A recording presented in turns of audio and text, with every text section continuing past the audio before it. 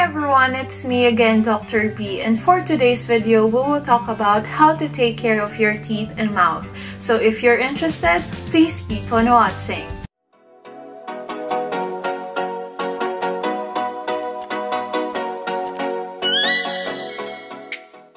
Number 1. Go to your dentist regularly, ideally every 6 months. It is case-to-case -case basis especially for those people who have gum diseases or yung may mga sakit po sa gilagid. Your dentist might suggest that you should visit a dental clinic every 3 months. Like a regular medical checkup, we should also visit a dental clinic from time to time. Kailangan din po nating alagaan ang ating oral health. Your dentist or dental hygienist are the only people who can remove plaque, calculus, or yung tartar nga po kung tawagin natin. Sila lang din po yung makakapag-assess and makakapagbigay ng advices for the best treatment plan for you. Dentists can also teach you how to properly brush your teeth because number two, proper and effective toothbrushing is very important. Pwede pong nagtutoothbrush kayo every day or twice a day, but the question is, are you doing it correctly? These are the rules in toothbrushing. Number 1. Use a soft bristled toothbrush or an electric toothbrush and not the hard ones. Toothbrushes with hard bristles are so stiff that it can be bent or move against your tooth surfaces. So ang tendency po, it may cause abrasion that will lead to sensitivity or pangingilo over time. Number 2. Use a 45 degree or BAS technique in toothbrushing. This is a combination of a circular and horizontal technique. Circular is the simplest but it is the least effective. Horizontal brushing naman po ang pinaka-common nating ginagawa. So, the proper way to brush your teeth is tilt your toothbrush to 45 degrees back and forth with a gentle pressure. Brush all sides of your teeth, the facial, chewing surfaces, and for the inside of your teeth, brush vertically with up and down strokes. Number 3, don't forget to brush your tongue with your toothbrush or you can use a tongue scraper. This is to remove the bacteria po sa ating mga dila and to keep your breath fresh. Number 4, ito po yung lagi nating nakakalimutan. You should brush your teeth strictly for 2 minutes twice a day. So, lagi niyo pong tandaan, 2 minutes twice a day hindi po totoo yung kakanta ka ng happy birthday because for me, it is shorter like it will not last for 2 minutes, maybe uh, less than 1 minute only. So, to make sure, you can use a timer. And meron po tayong mga apps sa cellphone na pwede nating i-download will help us to brush our teeth effectively. And meron din pong timer for 2 minutes. In toothbrushing, take your time. Huwag po tayong magmadali. Number 5, use a fluoride toothpaste and just put a pea size of it on the toothbrush.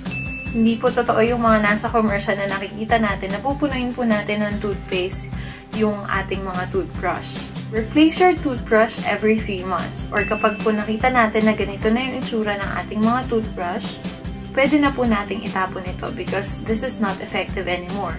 And number 7, always remember that don't rinse after toothbrushing. Also wait for 30 minutes before you brush after a meal. Number 3, you should also floss every day. Once a day, I suggest every evening so you can remove those food stuck in between your teeth before sleeping. You can use a regular floss, a floss pick, ergonomic floss, or a water pick. To cut the right length of floss, just pull it up to your elbow. This is approximately 18 centimeters, enough to floss your teeth using your tongue. Mahalaga po ang flossing because hindi naman po natatanggal ng mga toothbrush or hindi naaabot ng mga toothbrush yung mga tinganga po natin in between our teeth. Number 4, use a fluoride mouthwash. You can use it from time to time, but always remember that don't use it after toothbrushing. If you will use a mouthwash after toothbrushing, you will just rinse or wash off the fluoride from the toothpaste that you used. Mouthwash also reduces the bacteria inside our mouth, so it is also very helpful. Number 5, avoid foods high in sugar and carbohydrates. Like what I said in my first dental video, carbohydrates feed the bacteria in our mouth. So they will produce acid and it will cause cavities. Same with avoid eating sticky foods like caramels, toffee, raisins, candies, and chocolates. Number 6, iwasan po natin yung pagkain ng mga matitigas na pagkain like pistachios, hard taco shells, chicharon, butong pakwan, yung mga matitigas pong kagatin na it may cause fracture or it may chip your tooth. Because pwede pong pag nangyari yun, mangilo po kayo or worst case scenario, you will be needing root canal treatment. Kapag po hindi na masave yung tooth, it may lead to extraction also. Number 7, avoid eating or drinking extreme hot and cold food and beverages because yung ating ngipin po will go through a lot of expansion and contraction kapag po lagi natin itong ginagawa. And it will also cause sensitivity or even pain over time. Kapag po kasi sobrang lamig or sobrang init, like kapag po kumakain tayo ng ice cream or umiinom ng mainit na mainit na kape, it is causing small small cracks from our teeth. So, dun po pumapasok or nagsisip through yung mga kinakain natin.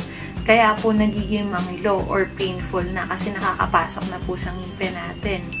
Number 8, limit your intake of drinks or colored drinks like coffee, tea, or red wine.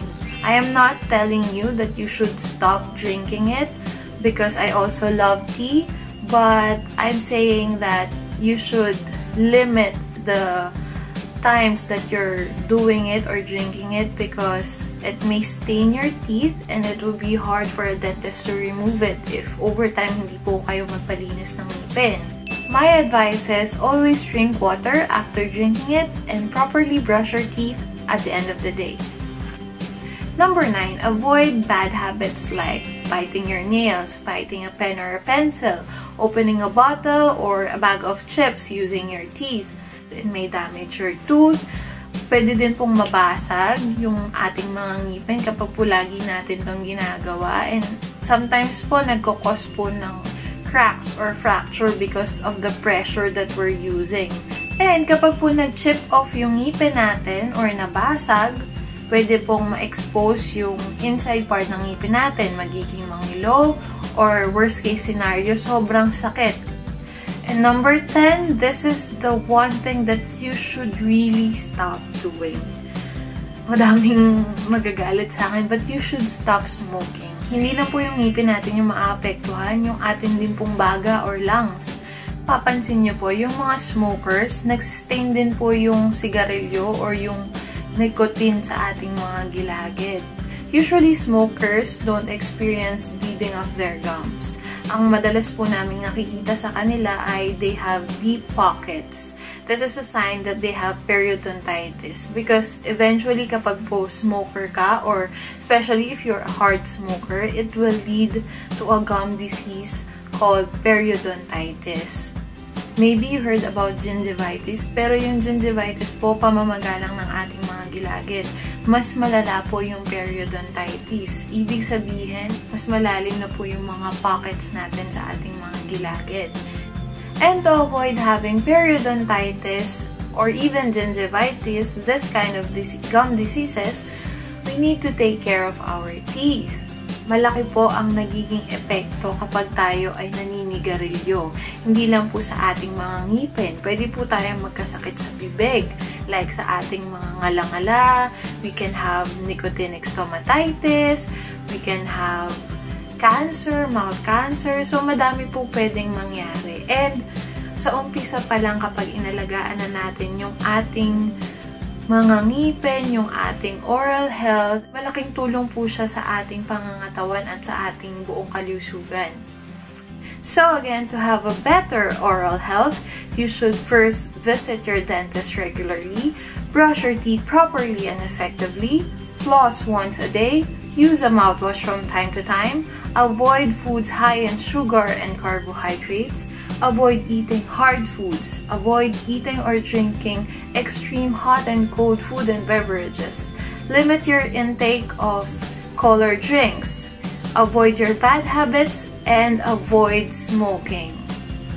Aside from all of these, you should eat nutritious food and have a well-balanced diet and exercise. So that's it for today guys. I hope you apply and start practicing these dental tips and start taking care of your teeth and oral health. I hope you're all safe. Remember to always be happy. Don't forget to smile. Life is short to be sad. Just want to say hi to my friends Dr. Michelle Zasos and Dr. Ella Gapas. Thank you for watching and see you on my next video.